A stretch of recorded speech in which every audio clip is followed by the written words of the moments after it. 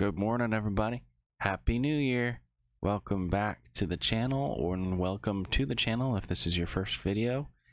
But basically, today we got some great, awesome new tools to help you guys out with uh, your Bible reading. Have you ever had an issue where um, you just can't seem to get time to read your Bible? Well, today we're going to go over a few tips and tricks on how to get your Bible reading done. And also, we're going to go over some tools that you can use to get that done. Um, reading through the Bible in a year is a, a great thing for your Christian walk because you just learn so much more and you actually uh, get exposed to a lot of the stories that maybe the pastor, the preaching, doesn't actually get to, and you get to read the entire Bible and not just bits, bits and pieces, and you can actually biblically pursue uh, your the Bible in a way that actually gets the entire Bible. So it's a good and it's an important step in the Christian faith to read your Bible.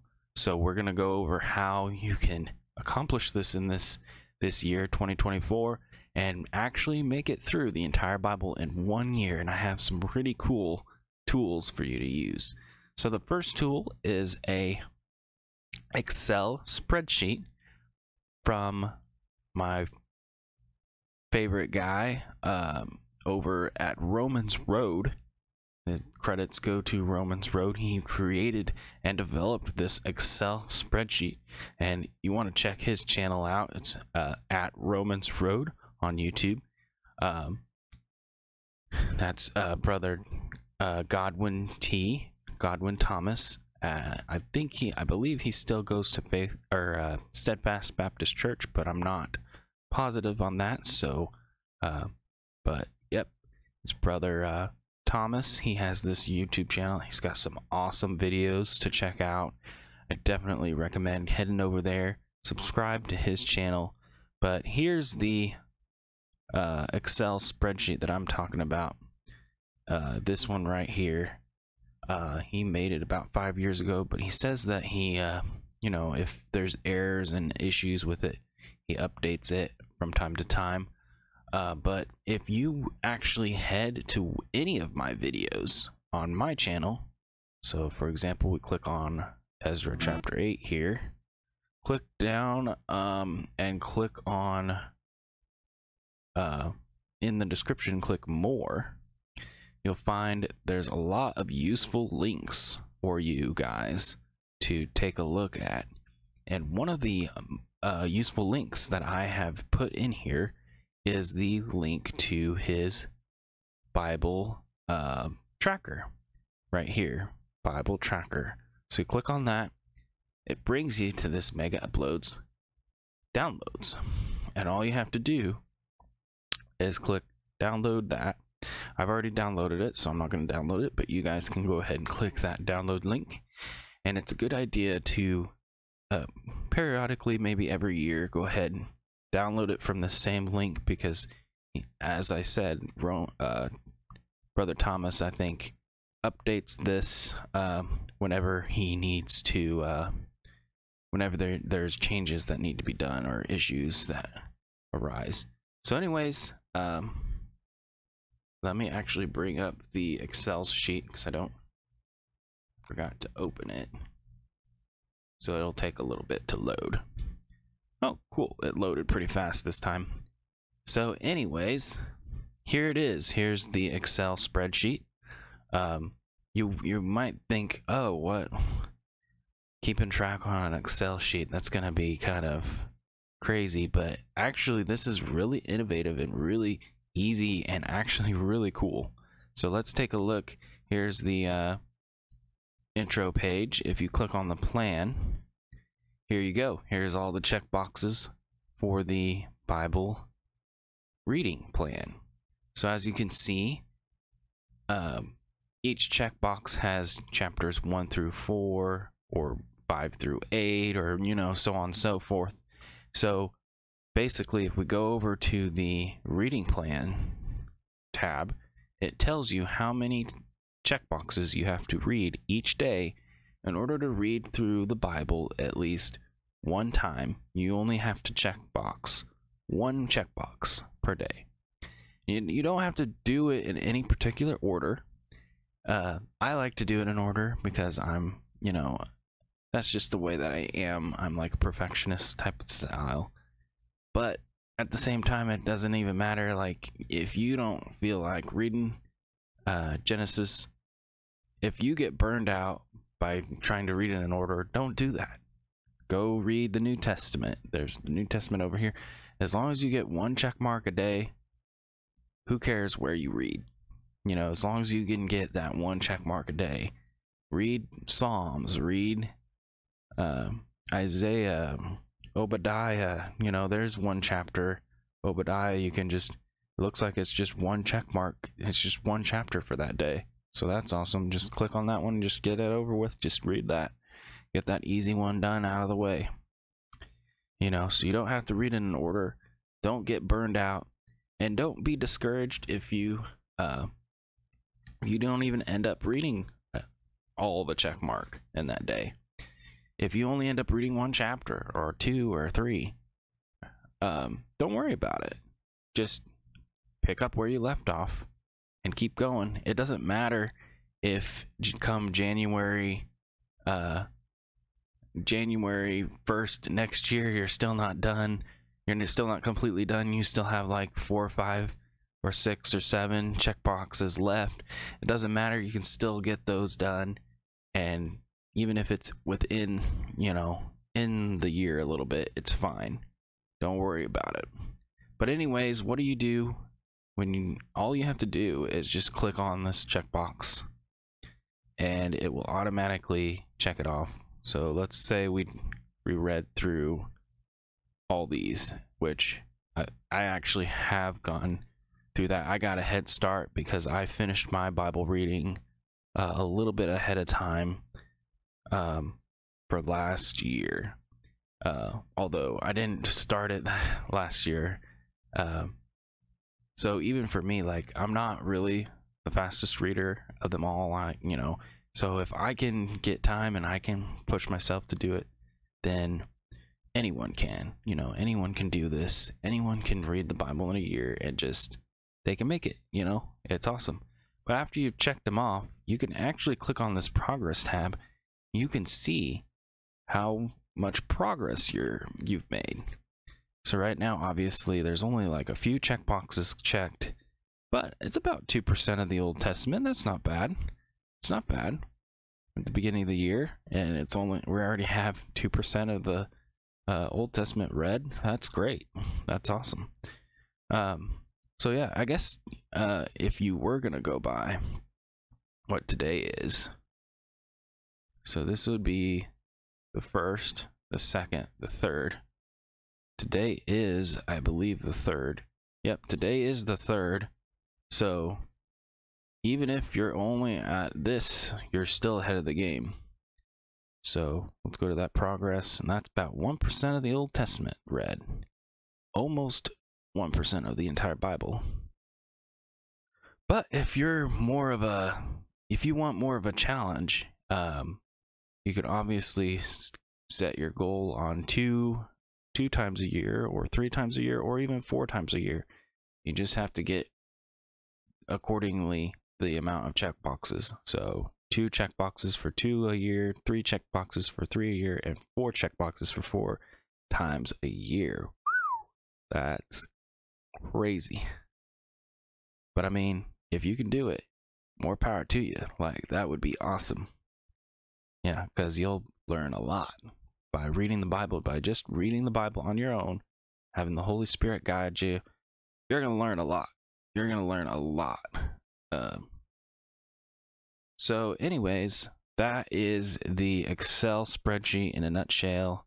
Uh, I am going to try to make my own kind of use the same development method. And I am going to try to make one maybe next year, maybe in the next few months, even where it's one checkbox per chapter. So that way, if you're discouraged and you um, want to you can only like read one or two chapters a day you don't have to feel discouraged that you didn't get a check box that day you can just go at your own pace and check off one at a time one chapter at a time so i'm going to try to develop that and that would be kind of cool to see uh, as well because obviously this is kind of maybe a little bit discouraging because you have to get but at the same time it's like well if your goal is to get it done in a year this is what you need. You need to be able to check box off at least one of these a day. So it makes sense but um, if you you know i think that the other chart might be fun for those who hey you know as long as you can get one chapter a day that's phenomenal like you don't have to have the entire bible read in a whole year as long as you're reading the bible that is a major step because the vast majority of Christians don't read their Bible. So it is definitely worth it.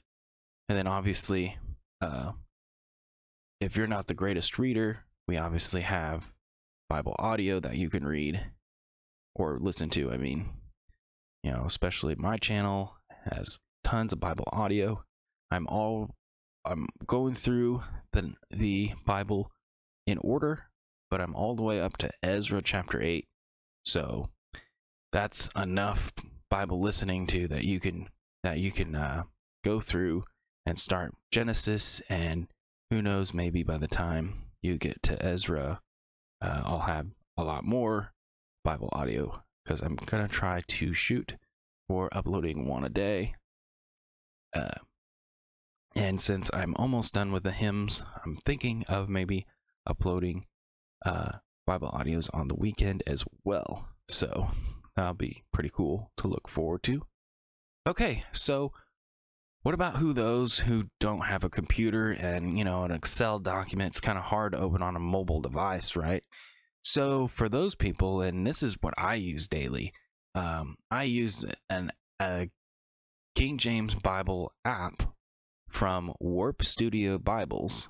Here's the app here and basically um it is a pretty awesome app i definitely recommend it i have it downloaded on my device.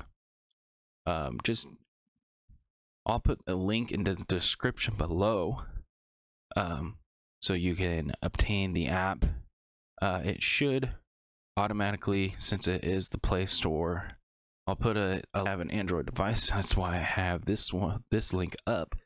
But anyways, you click on that link and it should uh, ask you to open up the Play Store and you can just click install directly from there. If you don't want to click the link, you can obviously just open up your Play Store or Apple Store, Google King James Bible app. There's going to be a ton of other King James Bible apps, and you can try all those ones out. But this one I really enjoy this one a lot. Uh, and I'm gonna showcase a little bit on why this one's so so good. There is a few things that could be better about it, but for the most part, it's pretty good. And it's from Warp Studio Bibles. So if you're trying to look for it yourself, uh, just try to look for that Warp Studio Bibles. Um, excuse me. Uh, company. So anyways, let's go ahead and I'll showcase this. This is my phone. I did a screen record of it. So let's go ahead and go through this. So right off the bat, you get like a, a cool like, here, let's pause that actually. So we can, you get like a verse of the day kind of th dealy. So you can uh, go into the app and actually start your day off with a verse of the day kind of thing. So that's kind of cool. Um, and then and then there's even more daily verses that you can read as well. Uh, but the coolest thing is you can click and you can see uh, the Old Testament, New Testament into categories. Um, so that's pretty neat. Different color codes for each. And then, of, of course, the progress is like the biggest thing. You can actually use this app to check off your Bible reading progress. So as you can see, it lists all 1,190 or 89 chapters in the Bible, and you can check them all off um, as you're reading. And you can, and you, while you read, I'll just show you real quick. When you're reading, you read through, and when you're done, you just click on this checkbox here.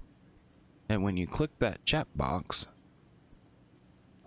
um, it will it will check that that uh, chapter off. So I just clicked it, and as you can see now, it has 33% of Naaman uh, checked off.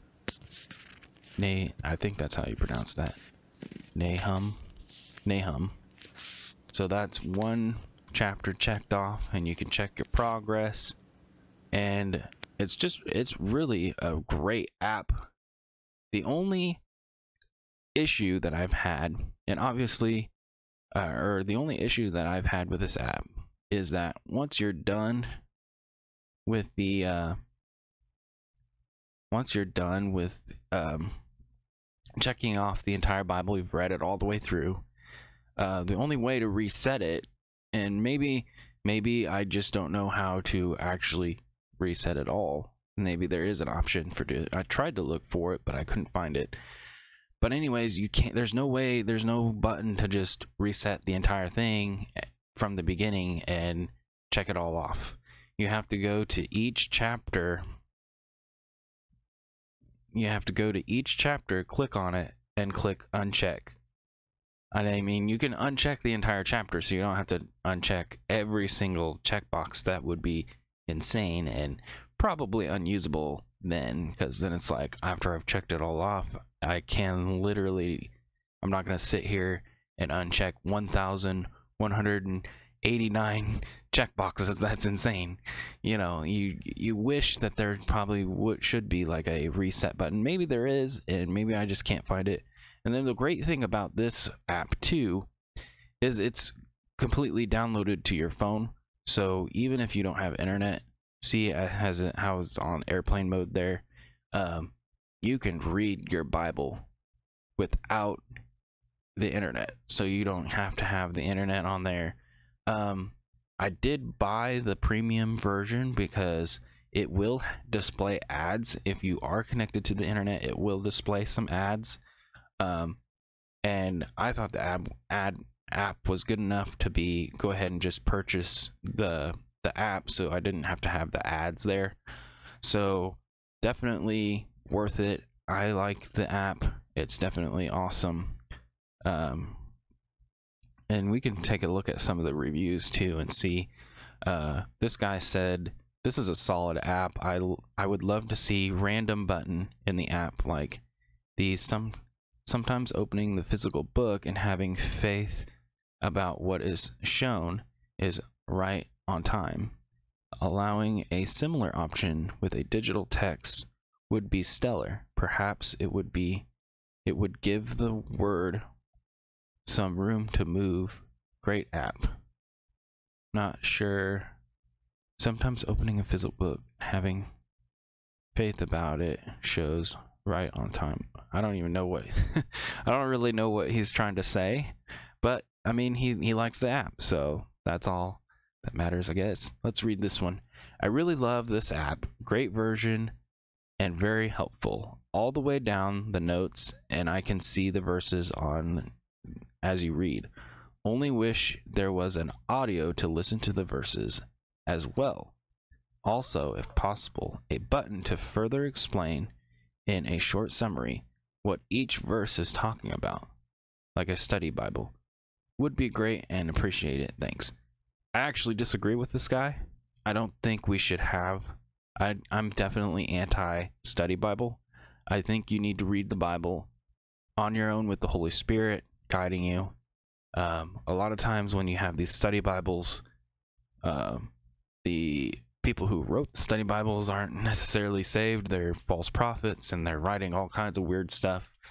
So you don't necessarily want a study Bible. You need to read the Bible on your own. Um, but I digress. Let's go ahead and give him that. He likes the app, so it's all good. but I'm glad that's one of the things that I like about the app is it doesn't have a bunch of study notes and a bunch of study junk from all kinds of uh, popular pastors that everybody likes that um, you know obviously are not teaching right. Um, and another thing is it's King James version. You need to read the King James version of the Bible. Uh, the modern Bibles are not your friend. They have been corrupted, and obviously that's another time and another video. We can go through that later in another video. But thank you guys so much for tuning in. I think that's about all that I got. Um, let me think. Oh yeah, obviously there's another thing that we have, and that is reading the Bible is important and an amazing thing, but also getting saved is more important for sure. Uh, a lot of people think they know that they're saved, uh, and they think that they're going to heaven. And a lot of people maybe don't know. Maybe they're unsure on whether they're saved or not. But I have the video right here for you. If you feel led to click on this video, click on this video, watch it all the way through, listen to the gospel of Christ. There's a lot of false teaching out there, unfortunately, when it in regards to Christianity and faith and salvation. Uh, but you can know for sure whether you're going to heaven today. You can know 100% that you're going to go to heaven. And you click on that video today, right here. It's the first video on my channel. And also, I'll have it in the link in the description. There's also a card up up in the corner. Uh, up here in the corner. Nope, up here in the corner.